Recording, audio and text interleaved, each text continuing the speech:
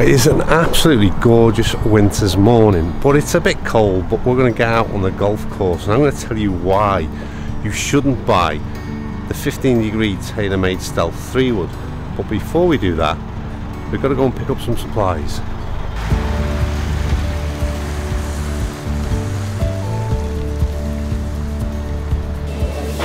Can I just get six slices of the um, back bacon, the non-smoked? That's great, Dan. Thank you very much. Cheers.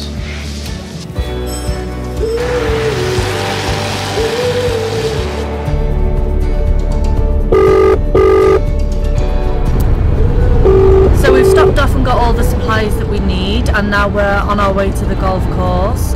Uh, we've tried ringing and we can't get through and it's about a what 45 minute yeah, journey. So a little bit risky but we're going to try anyway.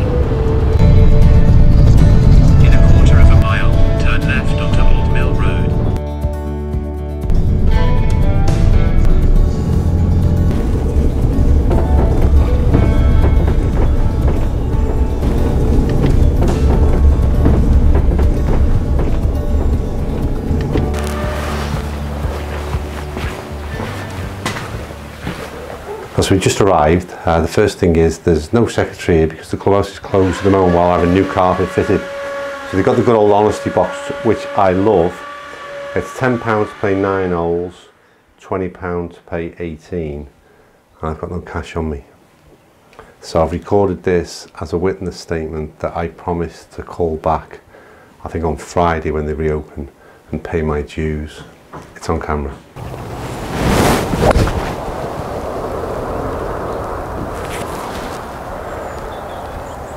Right, so today's video is coming to you from a golf course called Penmaen Mawr. It's a nine-hole golf course, it's just outside of Conway.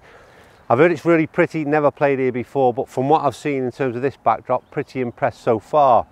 But what we're going to look at is a three wood. The 15 degree three wood is the one that you're not going to buy, in my opinion. I'm going to test another three wood that I think you should buy, and I'll tell you the differences between the two. And really it was demonstrated on that first tee shot that you've just seen. I wanted, we just got out the car now it's journey. No warm up, nice easy swing, pop the ball up in the air nice and easy, couple of hundred yards down the fairway, no great effort required. That's the three wood that you should have in your bag.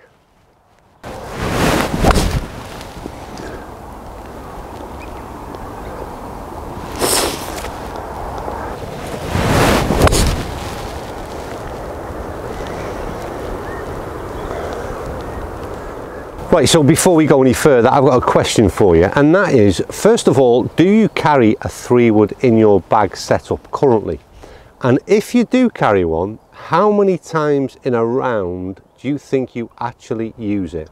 I'm really interested to know the answer to this one. You see, my point is this, I haven't carried a three wood for quite some time, and the reason I don't carry a three wood is because I found that it was a redundant club in the bag. I very rarely used it. If I wasn't sort of lacking confidence with the driver and maybe using it off the tee, then it often stayed there for quite a while because even from a fairway on a par five when a couple of hundred yards in, I wasn't really keen on sort of ease of use. I always found it a difficult club in the bag. And that's why I would suggest you don't carry any three wood in the bag. But if you are going to carry a three wood, then I suggest you consider this one.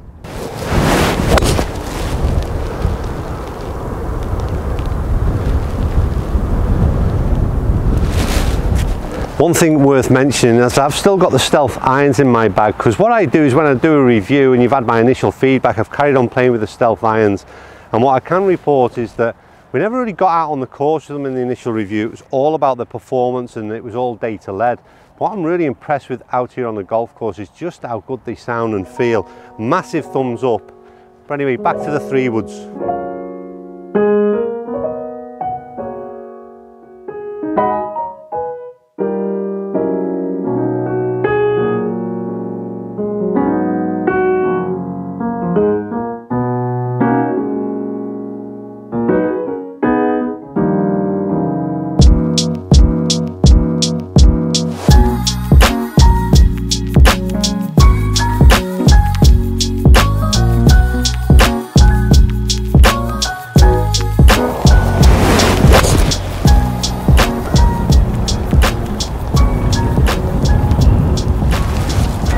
Every single shot you've seen me hit so far today has been with a Stealth 3 wood. So what am I going on about? And well, there's two versions of the Stealth 3 wood. The Stealth Plus is the all singing, all dancing, fully adjustable, quite expensive 3 wood and the one that I suggest most average golfers should steer away from. The 3 wood that I've been using has been the standard Stealth model. And the big difference to start with is the standard loft. And the standard loft on the HL is 16 and a half degrees. That's one of the major differences that would separate the two. But there's a few more which I'll explain as to why you should dismiss the Stealth Plus. And if you're going to consider putting a 3 wood in the bag, make sure it's the HL.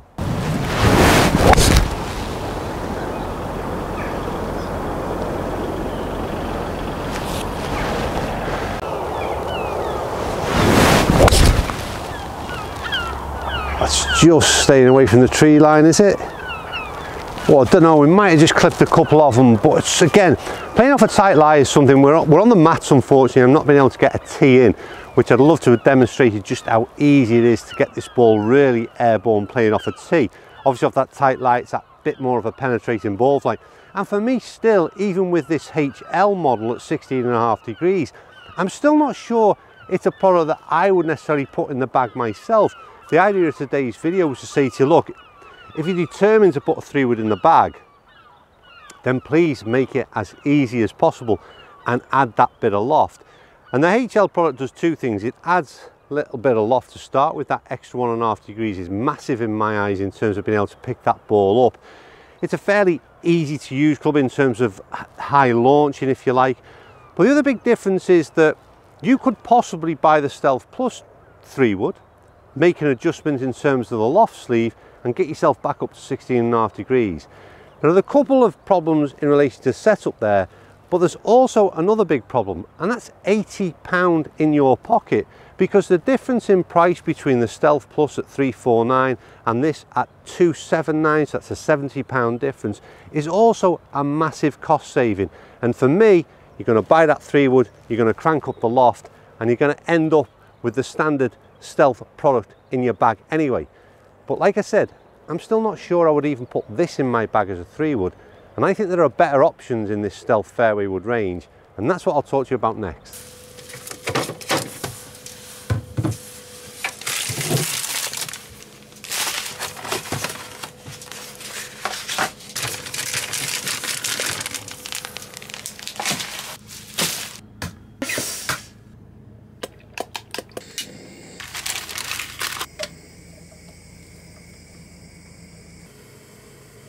Don't get me wrong, I love filming the product reviews and we always have new exciting things to try but this is always my most exciting part of the day.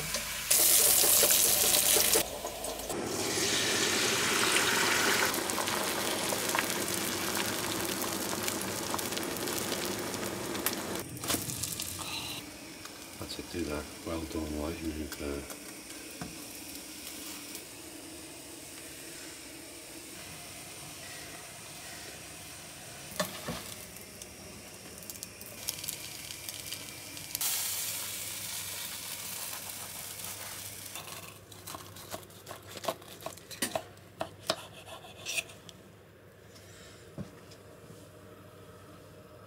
Okay, right, back in the warmth of the van to give you my sort of uh, overall summary, but I think you, uh, well, you get the message, but there is one thing, one additional thing I want to say, and that was the idea of today's video was to look at, well, as the title suggests, don't buy the 15 degree 3 wood. I go as far as to say don't buy any 3 wood. I think most average golfers, the club is redundant nowadays. I think it's, um, I think there's far more useful and helpful fairway woods out there, which I'll get onto shortly. But if you're adamant to put a three wood in the bag, then if you're looking at the stealth range, then like I said, I would look at the HL product line, which has got that extra bit of loft. And not only are you saving yourself a few quid, I think you know you're giving yourself a lot more help, and that one and a half degrees extra of loft is a benefit.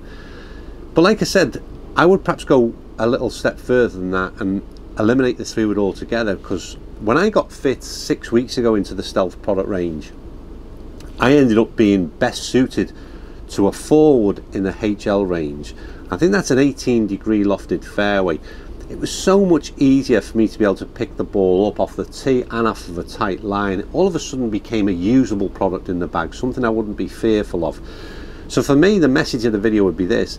I don't think any average golfer, or many, don't get too excited. There are some people out there that want a three wood in the bag, but if you do, I would say go to the HL. But if most of us, I think, steer away from them. They're a redundant product nowadays, and there's far more beneficial products out there. Um, in terms of the performance of the Stealth range, if you want my opinion on that, I'm not seeing anything that is greatly different than what I've seen from previous iterations of whether that be a TaylorMade product or anybody else in terms of three wood performance. They're pretty much doing the same as what those previous models have done. So I'm not seeing anything fantastic in there. The only thing I like about the the ranges from all the manufacturers right now is the broader offering in terms of three wood through to nine woods and I think that's where it's much more appealing for the majority of average golfers. That's me done. Um, in terms of today's video, it's been a little bit different. You've just seen us make breakfast, which is an unusual one. Um, talking of, I've given my rating in terms of the golf club rating on the breakfast this morning. Um, seven and a half. Seven and a half. Yeah, it's pretty good. Harsh critic. No, That's a- good. At like the end of the day, it was just bacon and eggs, but it was a bit of a cheat that you do it in the frying pan. You've seen what we did anyway. It was good. But we've had a great day out and we sort of filmed a lot more of that day out and tried to incorporate it into the review. Some of you will like it, some of you will not, but by all means let me know in the comment section below. We're always trying to do things a little bit different on this channel and try and make it a little bit more engaging, a little bit more engaging for you and perhaps a little bit more fun for us as well. So we've had a, a decent day filming it. We just hope you enjoyed watching it. Right, thanks as ever for watching. Give me your feedback. Don't forget, if you've got three wood in the bag, how many times did you use it? That's the comment I want to hear from you. Right, see you soon. Bye.